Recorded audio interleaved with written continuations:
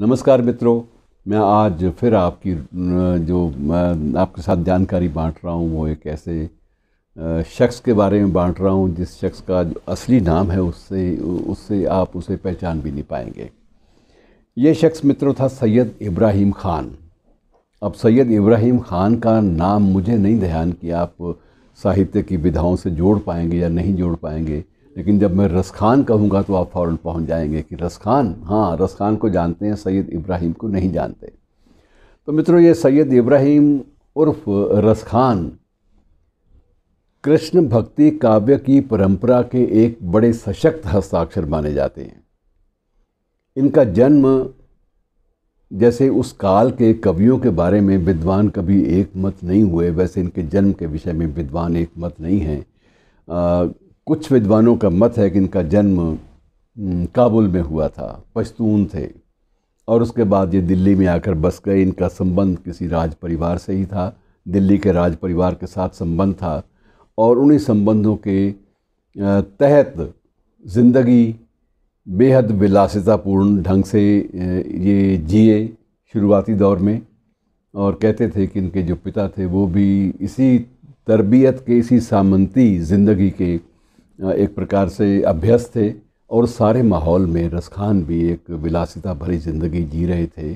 लेकिन उसी वक्त इनको कुछ एक लोगों ने सुझाव दिया कि अगर ज़िंदगी देखनी है, अगर प्रेम की बात करते हो, प्यार की बात करते हो या उन संबंधों में विश्वास रखते हो तो एक बार वृंदावन हो जाओ।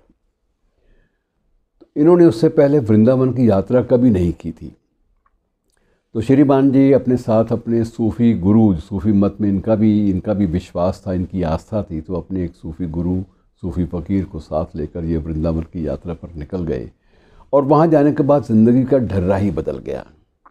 पूरी तरह से कृष्ण इनके लिए केवल अवतार नहीं, बल्कि एक महानायक बन गए कि कृष्ण की बिना ज़िंदगी में अधूरापन इनको लगने लगा। इनको लगा कि अब तक जो ज़िंदगी विलासिता में बिताई है अगर वो कृष्ण से प्रेम की विलासिता में बिताई होती तो मेरा शायद आने वाला जन्म भी सुधर जाता समर जाता।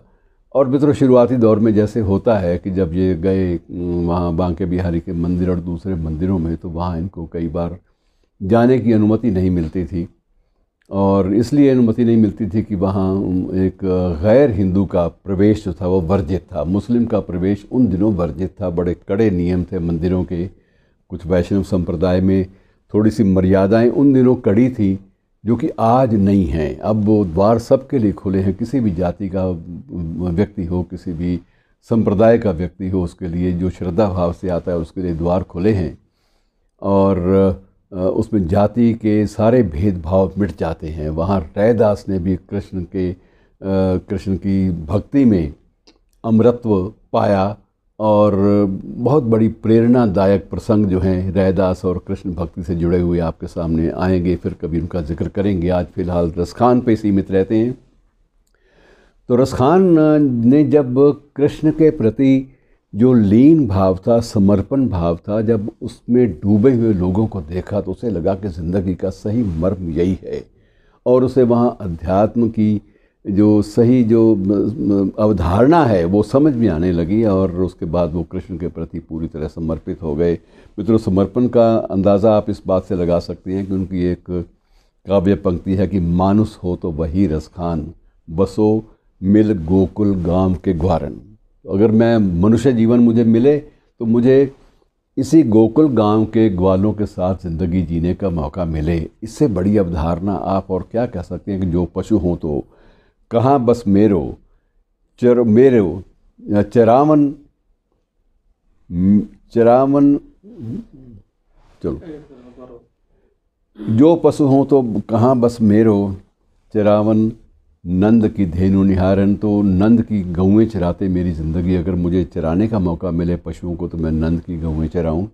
और इसी प्रकार से जो खग है तो बसेरा करो। मैं अगर पशु हूँ, परिंदा बनूँ तो जो खग हों तो बसेरा करो।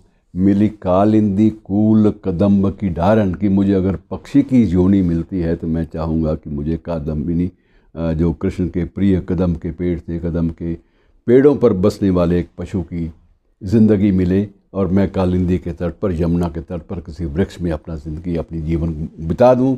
तो समर्पण की पराकाष्ठा तक ये कृष्ण भक्त हो गए थे और अक्सर ये कहा जाता है कि उन दिनों रसखान हाथ में कुछ वो खड़तालें जिन्हें बोलते हैं आम ज़बान में हम लोग, उसका मुझे सही संस्कृतज्ञ नाम मुझे शायद मैं ना याद कर पाऊँ।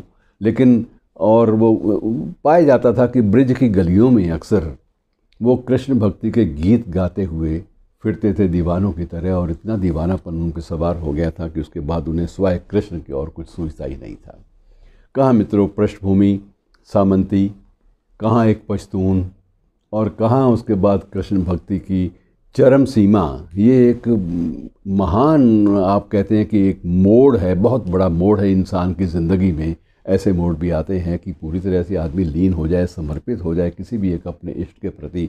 ये शायद आपको उदाहरण इतिहास में ना मिलें। और मित्रों सारी ज़िंदगी इन्होंने उसके बाद वहीं काटी और वहीं मथुरा से ही दस किलोमीटर की दूरी पर एक महाबन नामक स्थान है, वहाँ रस खान की समाधि है। ये अभी स्पष्ट नहीं है अलग अलग मत हैं। कुछ कहते थे उसको रस खान को यहीं दफनाया गया था और कुछ कहते हैं कि उनका पूरे हिंदू रीति रिवाज से उनका अंतिम क्रिया की गई थी। क्या है? ये कुछ कहा नहीं जा सकता, लेकिन रसखान की समाधि है। और आज भी लोग उसको भी एक मंदिर का स्वरूप मान कर ही वहाँ पर जाते हैं और अपने श्रद्धा के सुमन चढ़ाते हैं और वहाँ बैठ कर जब भी कभी जाएँ आप देखेंगे कि वहाँ बैठकर लोग अक्सर रस खान के गीतों को गाते हैं और ये एक अजब मंज़र होता है कि समर्पण भाव का डूब जाने का मंज़र, जिसमें रस खान ने कृष्ण काव्य परंपरा में एक नया कीर्तिमान स्थापित किया था। यद्यपि इस, श्रृंखला में सूर का नाम भी आता है, सूरदास का भी, मीराबाई का नाम भी आता है कुंभनदास का नाम भी आता है, अष्टचाप के आठों का भी आते हैं। लेकिन रसखान की अपनी एक अलग से कहानी है, जो बेहद दिलचस्प है कि समर्पण भाव अगर जग पड़ता है, जाग पड़ता है समर्पण भाव अध्यात्म के प्रति तो उस वक्त जाति की दीवारें और ये संप्रदाय की दीवारें और जो वर्गगत दीवारें हैं, वो सारी की सारी धराशायी हो जाती हैं और आदमी को सिर्फ़ अपना इष्ट सोचता है और अपने मन की भक्ति भावना सोचती है। तो ऐसे महान पुरुष को याद करना अच्छा लगता है क्योंकि कुछ विद्वानों का मत है कि उनका जन्म जनवरी के प्रथम सप्ताह के आसपास ही हुआ था। तो ये वही दिन है मित्रों, जब 1548 में इनका जन्म माना जाता है, अंतिम परिणति, और उसके बाद 1628 में कृष्ण भक्ति में लीन ही कृष्ण के पद गाते गाते ही इनकी यही लीला समाप्त हुई, इनकी यही लीला समाप्त हुई, और इन्होंने अपनी अंतिम सांस ली, और वहीं पर इनकी समाधि बना दी गई। नमस्कार मित्रों।